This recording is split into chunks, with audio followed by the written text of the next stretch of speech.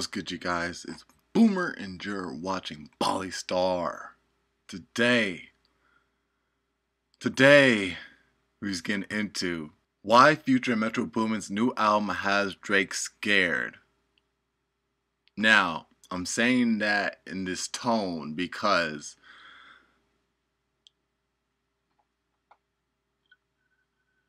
now, disclaimer I'm hearing this might not even be real, but Drake dropped his diss. But again, it might not be real. They're saying it's possibly AI.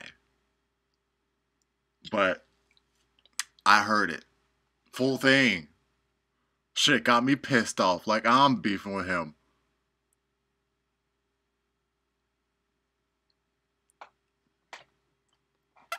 Bro, all I can say is if this is AI generated, they did such a phenomenal job for Drake that if Drake were to drop his actual diss track, it better top the one I just heard right now. It better fucking top it. Cause this shit, bro, this shit hit deep. Cut deep. Dang remind me of the 90s man early thousands.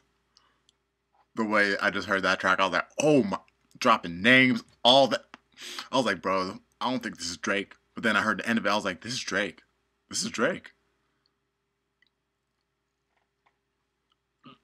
Dude like uh, bro.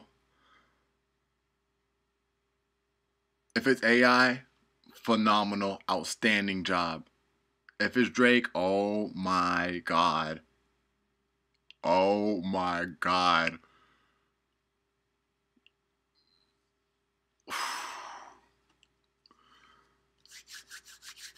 Well, I just wanted to say that through, you know, to, to at the beginning of the video, so that way it's out there. You know what I'm saying? You get my reaction to this possible AI generate. That's what they're saying. Drake this track. Or real Drake this track. You know, it's up to you to decide.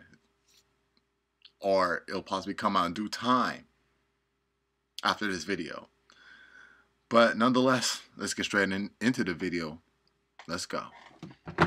Brazy, brazy times we're in. As Future and Metro Boomin just released their second collab album, We Still Don't Trust You.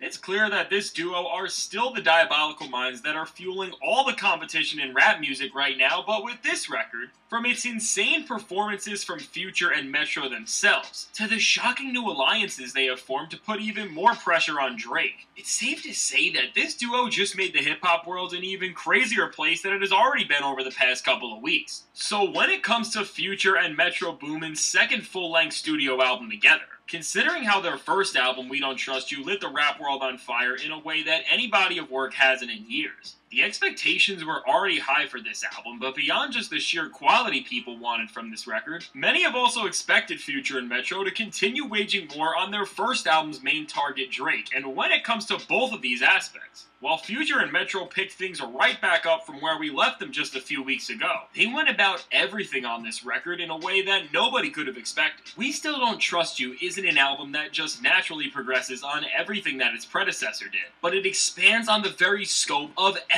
that Future and Metro Boomin have been trying to show the world in its entirety. This is immediately seen as the album features 25 tracks that run for almost an hour and a half, but while listening to most projects at this length seems like a sentence that will make you suffer through some of the worst musical experiences possible. Metro and Wait, Future run for almost an hour and a half, but while listening to most projects at this length seems like a sentence that will make you suffer through some of the worst musical experiences possible, Metro and Future crafted these 25 tracks into a double album where the first 19 songs represent the core project and the final 7 stand as a disc of their own. Now, between these two sides of the record, while they are connected through the performances from Future and Metro, they are drastically different stylistically, and this is immediately reflected as soon as you press play on the self titled intro track. Where on We Don't Trust You, the intro track immediately showed the world that Future and Metro Boomin are taking a stance against a rival of theirs who we later find out is Drake as Future's verse progresses and unveils more personal details. We Still Don't Trust You does not need to jump right into beating on Drake as we already know where he stands with Future and Metro and overall.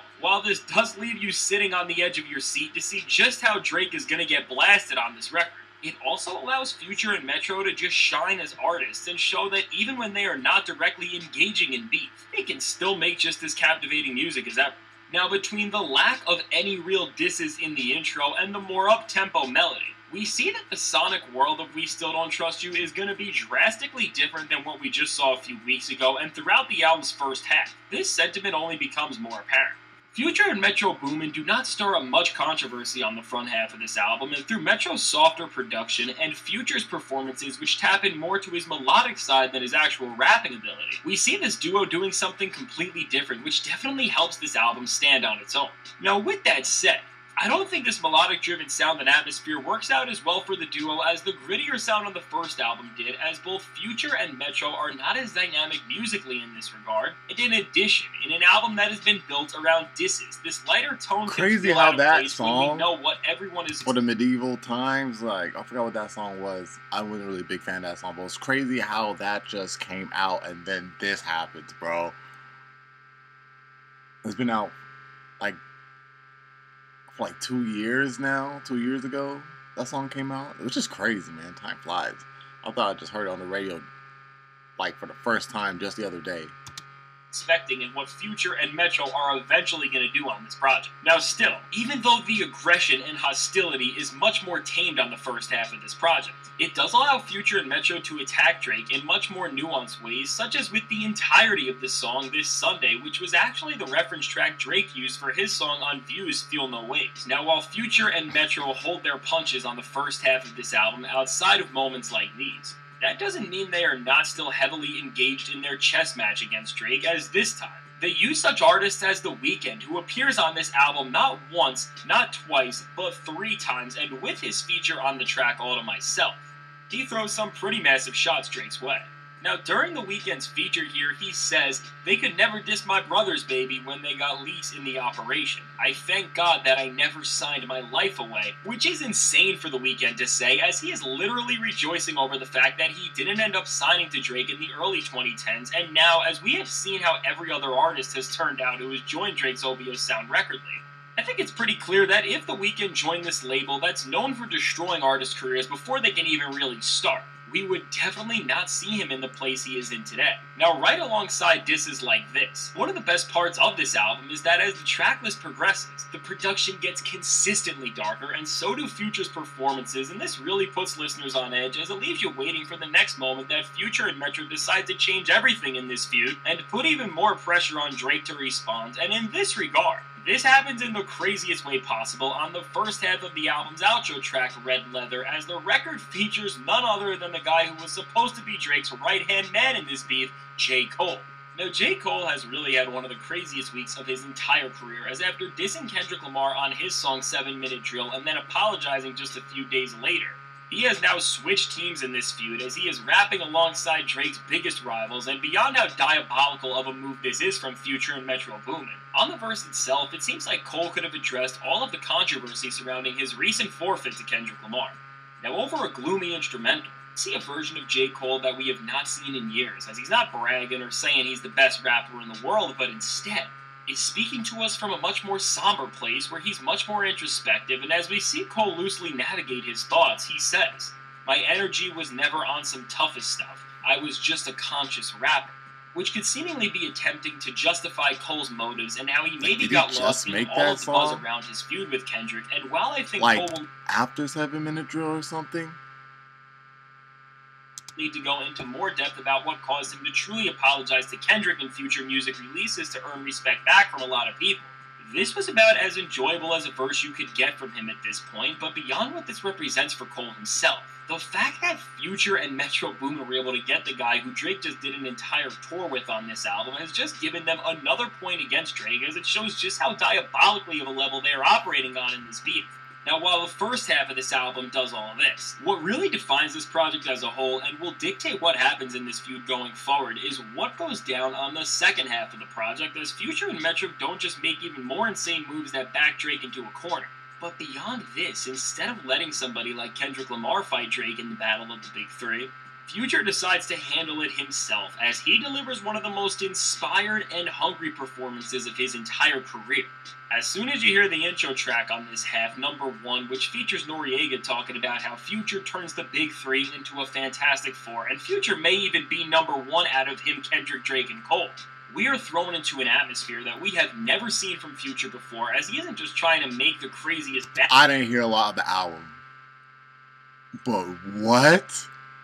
Bangers, but he is trying to show that he is one of the best rappers of our time firsthand. Between the insane performances from Future, where he's more commanding, lyrically sharp, and dynamic, to the production, which isn't just handled by Metro, but also some of Future's other most iconic collaborators, including Southside, Wheezy, and Honorable C we truly see Future rapping like he has a fire lit under him here as he delivers one of the best runs of tracks in his entire career, and that is really saying a lot. Now, Future's performances in this section show us that he is ready for battle like we have never seen before, and he definitely gets some good jabs in on Drake, but making things even crazier.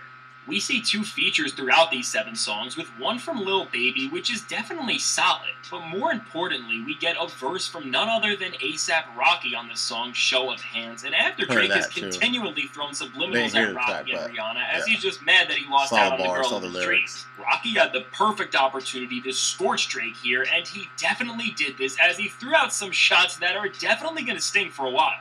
Whether Rocky is alluding to the fact that he has been ready to diss Drake since the first album Future and Metro did, to taunting Drake over the fact that he stole the girl of his dreams and that his latest album, For All the Dogs, just came and went. Rocky really annihilates Drake with one of his most sinister performances to date, and between Future giving some of his best rapping, J. Cole switching sides, The Weeknd throwing major shots, and ASAP Rocky trying to humiliate Drake and expose his bitterness, Future and Metro Boomin have really managed to make things even crazier with We Still Don't Trust You in ways that are gonna have some major effects on the rap world going forward after apologizing to Kendrick and then literally switching sides. Drake has to have added J. Cole to his list of targets, and now, he's going to have to directly respond to ASAP Rocky He is right behind Future and Kendrick.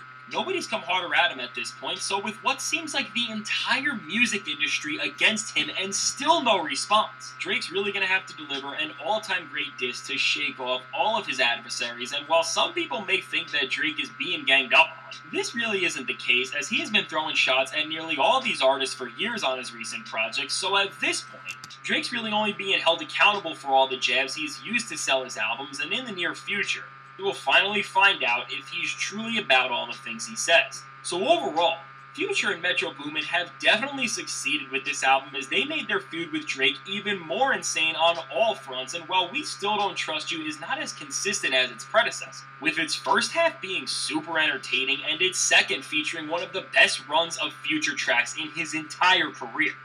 I would say that this record is more than a welcome addition to the series and both of their catalogs. So let me know, how do you feel about We Still Don't Trust You, and what do you think is next to come out of this beef? I can't wait to hear what you have to say, and if you want to see my ranking of. Every- well, again, that Drake diss track is real, oh my god, the ante has just been upped, man. It's just been upped. Y'all let me know your thoughts about down in the comment section down below. Y'all know it's Boomer, and you're watching Ballystarr. Make sure to leave a like, support the video if you enjoyed it, subscribe if you're new, so that way you can join up with the Bomb Squad. You did. Catch y'all in the next one. 100. Yeah. Yeah. Yeah.